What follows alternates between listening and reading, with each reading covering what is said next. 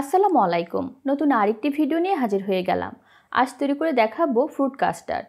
যা নাকি খুবই অল্প সময়ে রেডি করতে পারেন। আর এটি তৈরি করে নর্মাল ফ্রিজে দু তিন দিন পর্যন্ত এমনিতেই ভালো থাকে। যখন খুশি তখন পরিবেশন করতে পারেন। আর অতিথি আপ্যায়নে এই ফ্রুট কাস্টার্ডটা কিন্তু আমরা খুবই সহজভাবে ডাইনিংয়ে রাখতে পারি। তাহলে রেসিপিটি আমি শুরু করে দিচ্ছি।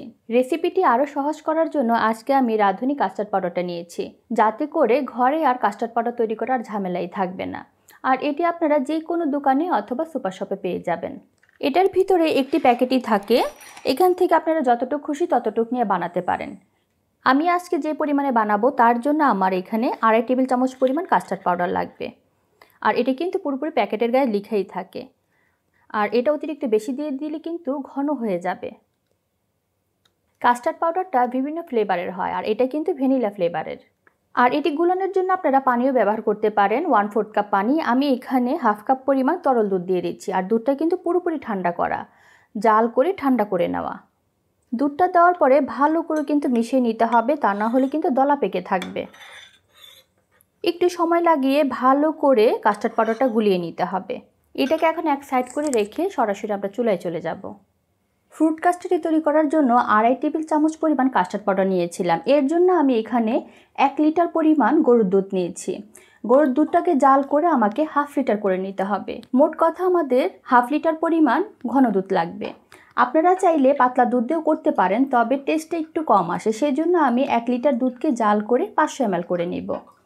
আর ঘরে যদি তরল দুধ না থাকে, তাহলে ছয় টেবিল চামচ পরিমাণ গুঁড়ো দুধের সাথে পাঁচশো এম পানির সাথে গুলিয়ে নিলেই চলবে। এখন দুধটাকে জাল করে আমি অর্ধেক করে নিচ্ছি। জাল করতে করতে ভালো করে কিন্তু দুধটা বলক চলে এসেছে। নিশ্চয়ই খেয়াল করেছেন?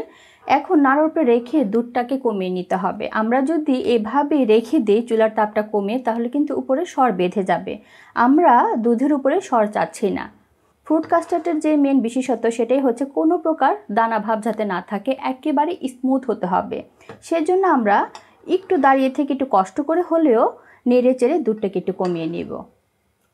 দুধটাকে দাঁড়িয়ে থেকে জাল করে আমি ঘন করে নিয়েছি। আর কতটুকু ঘন করেছি সেটা আমি দেখিয়ে দিচ্ছি।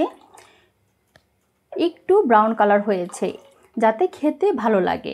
অনেকে আছে কাস্টার্ডের মধ্যে ক্রিম ব্যবহার করে।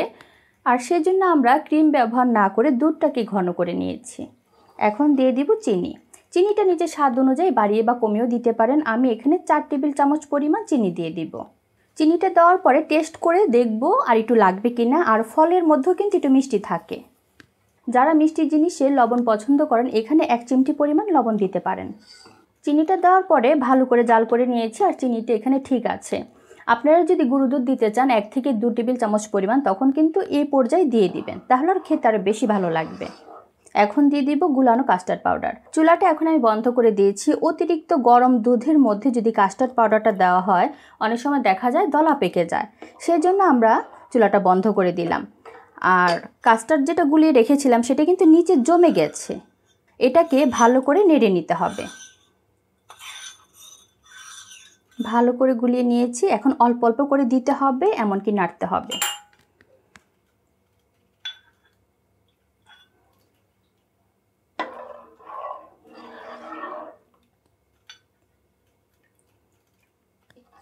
নিচে খেয়াল করেছেন, দেওয়ার সঙ্গে সঙ্গে কিন্তু ঘন হয়ে গেছে। কোনো প্রকার কিন্তু গুটলি ভাব নেই। যদি আপনারা দেখেন, গুটলি পেকে গেছে, তখন কিন্তু এটাকে ছেঁকে নিতে হবে। কাস্টার্ড পাউডারটা দেওয়ার পরে চুলাটা কিন্তু আমি ধরিয়ে দিয়েছি। এখন একটা বলক তুলে নিলেই হবে, তাহলে কাস্টার্ড পাউডারটা ভালো করে সিদ্ধ হয়ে যাবে। আর এটাই হচ্ছে মেন যাতে নিচে ধরে না যায়, এমনকি গুটলি পেকে না যায়।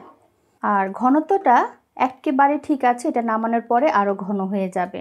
এই অবস্থায় নামাতে হবে। এখন যদি আপনারা বেশি থকথকে করে নামান, পরবর্তীতে কিন্তু এটা বসে যাবে। এখন যে বলকটা তুলবেন, এটা কিন্তু হাই হিটে বলক তুলানো যাবে না, তাহলে কিন্তু নিচ দিয়ে ধরে যাবে। মিডিয়াম আছে, বলক তুলে নিতে হবে।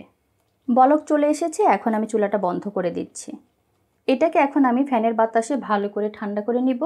তারপরে ঢাকনা দিয়ে ফ্রিজে রেখে দিব দু থেকে তিন ঘণ্টার জন্য। ফিরে আসলাম দুই ঘণ্টা পর। এখন পরিবেশন করার পালা। পরিবেশন করার আগে ফলগুলো কেটে নিতে হবে। আর আমি আমার পছন্দ মতো ফলগুলো কেটে নিয়েছি।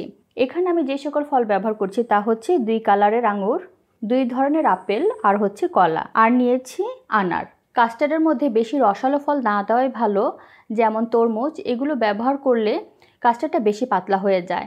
এছাড়া আনারস, এমনকি মালটা, কমলা এগুলো ব্যবহার না করাই ভালো। এগুলো কিন্তু একটু টক জাতীয় ফল। ফলগুলো কাটার ক্ষেত্রে একটি লক্ষ্য রাখতে হবে, যখন আমরা মিশ্রণটা মিশাবো, এর কিছুক্ষণ আগে কাটাই ভালো, তা না হলে কিন্তু কালো হয়ে যায়।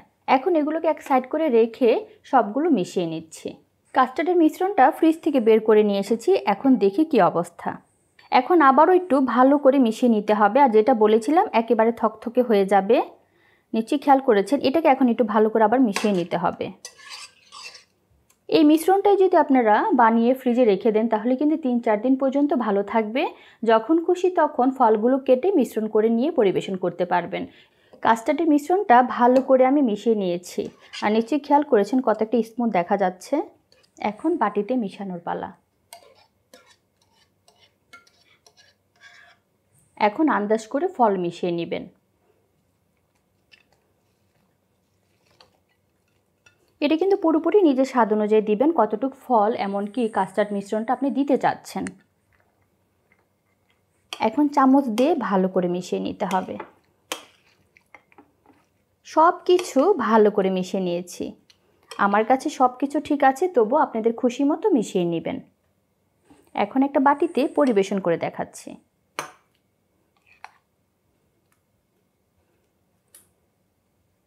এখন পরিবেশনের জন্য আমি কিছু ড্রাই ফ্রুট নিয়ে নিয়েছি। এটা নিজেদের খুশি মতো নিয়ে নেবেন অথবা মিক্সও করে দিতে পারেন। খেতে কিন্তু ভালো লাগে। তিন ধরনের বাদাম, এমনকি কিছু ড্রাই ফ্রুটস এখন ছিটিয়ে দিচ্ছি। আমি আমার পছন্দ মতো পরিবেশন করে নিয়েছি। এখন ঠান্ডা ঠান্ডা খেয়ে নেওয়ার পালা। রেসিপিটি ভালো লাগলে একবার হলো বাসা ট্রাই করবেন। ভালো লাগলে অবশ্যই একটা লাইক দিবেন শেয়ার করবেন এবং আমার চ্যানেলকে সাবস্ক্রাইব করবেন। সবাই ভালো থাকবেন। আল্লাহ হাফেজ।